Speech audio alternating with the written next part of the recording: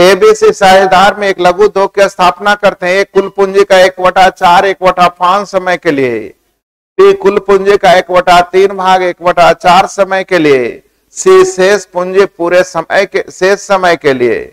तो कुल लाभ दिया हुआ है तो बी का हिस्सा क्या होगा? थोड़ा फास्ट कीजिए, आज नियम तो खत्म कर दें, तब तो होमवर्क दें। देखते हैं।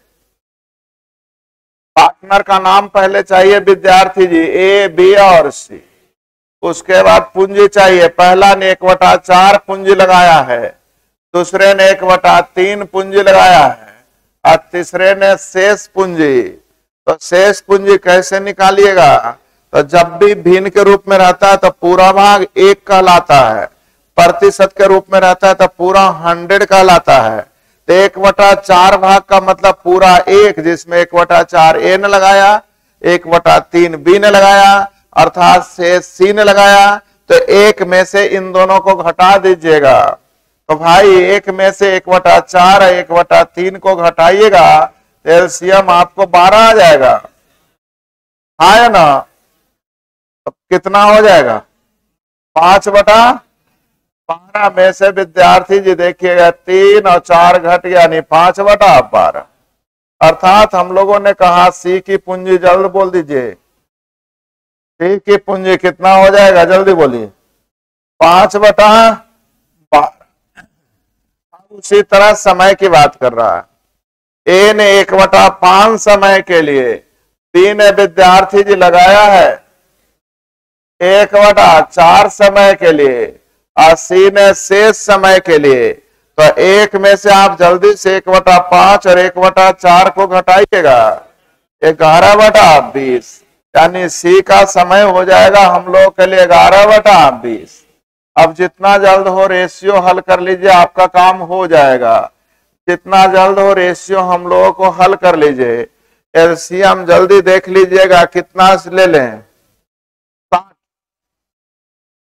या चलिए पाँच से ही कट रहा पाँच सौ जल्दी देखिए, बारह अभी भी एलसीएम लगता है, साठ ही आ जाए। साठ लाने के लिए बीस को कैसे गुना आती आठ लाने के लिए विद्यार्थी जी बारह को कैसे गुना पाँच अभी साठ से कटेगा जी। चलिए, कोई बात नहीं हम लिख दिए तो अब फिर से लौटेंगे थोड़ी को। साठ से न गुना किए। बारह चौ अड़तालीस बारह पचे। अर्थात हो जाएगा बारह बीस पचपन। टोटल लाभ हम लोग का दिया हुआ है विद्यार्थी जी, जल्दी बोलिए। सत्रह हज़ार का तुलना सतासी से। निकालना किनका? बीस का हिस्सा कैसे गुना? हमें लगता है दो बार में कट रहा है। अर्थात हम लोग का आंसर चार बन जाना चाहिए। लेकिन मैं भी पहली बार जब आपकी जगह था तो ऐसे ही बनाया था। तो हमें समस्या ये आ गई थी सबसे ज़्यादा समस्या ही ले लिया था कि पहले तो शेष पूंजी निकालो, शेष समय निकालो दो दो गो भिन्न का घटाव बनाओ, उसके बाद एलसीएम से गुना करो। तो मैंने इसका एक उपाय ढूंढा, उस उपाय को जरा एक बार आप देख लीजिएगा। हमने सोचा कि आज जो रेशियो में पढ़ाए, उसका यूज़ यहाँ क्यों नहीं करें? ए ने लगाया है एक बटा चार पूंजी। बी ने लगाया है एक बटा तीन पूंजी। इसलिए पूंजी ऐसा मानिए जो चार और तीन से कट जाए। तो चार और तीन से कटने वाली राशि बारह लाने के लिए यहाँ तीन, यहाँ चार, यानी शेष बचेगा पाँच। देखिएगा यहाँ शेष लिखना बिल्कुल आसान। उसी तरह समय का ज़िक्र कीजिएगा, विद्यार्थी जी। ए का समय देखिएगा, एक बटा पाँच। बी का समय एक बटा चार। तो समय ऐसा मानिए जो पाँच और चार से कट जाए। तो बीस लाने के लिए यहाँ चार, यहाँ पाँच, और शेष हो जाएगा ग्यारह। अब देखिए रेशियो भी लिखना बिल्कुल आसान सा हो गया। हाँ या ना? अब टोटल का तुलना टोटल से सत्रह हज़ार चार सौ का तुलना, जल्दी बोलिए। बी का निकालना है बीस से गुना, अर्थात हम लोगों का आंसर। हमें लगता है इसमें आपकी स्पीड चार गुना हो गया होगा। हाँ या ना? तो जब भी ऐसा रहे तो टोटल पूंजी निकालने आ गया टोटल समय भी मानने आ गया। बन जाएँगे। नेक्स्ट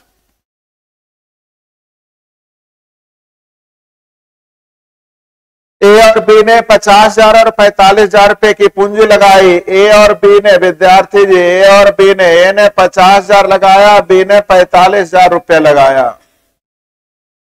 आगे, चार माह बाद ये अपनी आधी पूंजी निकाल ली। चार माह जब हो जाएगा विद्यार्थी जी तो ए ने अपनी आधी पूंजी निकाल ली। तो पचास के आधा पच्चीस लिखने में कोई दिक्कत? नहीं, अगर दिक्कत होता तो हम आगे भी आपको समझाते। अगले आठ महीने के लिए, कितने महीने के लिए? क्या आप लोगों को ये समझ में आ गया?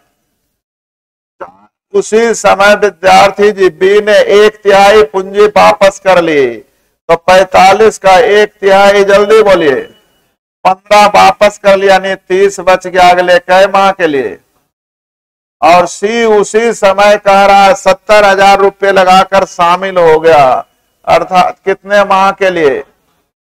अब जितनी जल्दी हम लोग रेशियो लिख ले, हम लोगों का काम हो जाएगा। रेशियो लिखने आ जाएगा। चार चार दुनी आठ, चार चार दुनी आठ, चार दुनी आठ। हालाँकि पाँच भी कॉमन आके कट रहा है, काट लें। दस बार में, पाँच बार में। पन्नवा पैतालीस, पाँच छत्तीस, चौदह पचे। अब यहाँ देखिए दस और दस बीस। यहाँ देखिए बारह, नौ, इक्कीस, यहाँ देखिए अट्ठाईस। यस या नो? टोटल लाभ देखिए 414 विद्यार्थी जी, टोटल का तुलना टोटल से 69 हो रहा है क्या? 69 यानी पूरे लगता है सात छह बार में कट रहा है, सत्तर गुने छह, चार सौ बीस होता है छह बार। किसका निकालना? ए का बीस से गुना बीस बीस से, उस पे भी डबल ज़ीरो छोड़ के आए थे। हाँ या ना? अर्थात हम लोग का आंसर कितना?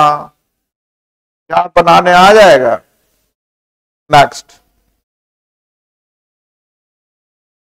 किन किन्हीं को कहीं दिक्कत हुआ, ज़रूर बोलिएगा और पूछिएगा, शर्माने की ज़रूरत नहीं है। तीन पार्टनर हैं, विद्यार्थी जी, मैंने ए बी और सी लिख डाला। पूंजी, एक जगह लिखा, एक बटा छह भाग, एक जगह एक बटा तीन भाग। इसलिए ऐसे पुंज मानिए जो छह और तीन से कट जाए। तो छह यानी कि एक, दो और शेष पूंजी तीन। समय भी लिखा, एक बटा छह, एक बटा तीन। कितना माने? तो छह का एक बटा छ एक एक बटा तीन, दो, और पूरे समय लिखा हुआ। शेष समय नहीं लिखा हुआ था।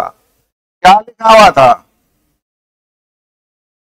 अगर आपने शेष समय लिख दिया तो इसका मतलब है आप रट्टू मल है, रटिए नहीं। अब टोटल लाभ दिया हुआ है छियालीस, यहाँ टोटल अठारह, चार, बाईस, एक, तेईस। किसका निकाल रहा है? चार से गुना ते दुनी छियालीस यानी चार दुनी आठ हज़ार ना। क्योंकि हज़ार बाज़ार को हम लोग छोड़ के आए थे। आंसर देने आ गया। पार्टनर का नाम बोलिए। ए बी और सी ए बी सी ए ने एक वटा चार पुंज बी ने एक वटा पाँच पुंज शेष पुंज सी ने. तो चार पाँच से कटने वाली राशि बीस लाने के लिए पाँच चार ग्यारह. ए ने एक वटा चार समय बी ने एक वटा पाँच समय तो समय ऐसा मानिए जो चार और पाँच से कट जाए। तीस लाने के लिए पाँच, चार आई पूरे समय लिखा हुआ है या नहीं? अर्थात रेशियो हो गया पच्चीस, सोलह, दो सौ बीस। टोटल लाभ अठहत्तर, सौ तीस का तुलना, जल्दी बोले तो कितना? दो सौ इकसठ से निकालना किनका?